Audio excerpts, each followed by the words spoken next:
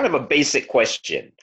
Um, I've heard over the years where they talk about men, especially like older men, that they say, well, they had blood in their urine and they never got it addressed. And I've often wondered, blood in your urine, I mean, does your urine actually turn pink or red at some point? Uh, you know, how, is it, how does it look? I mean,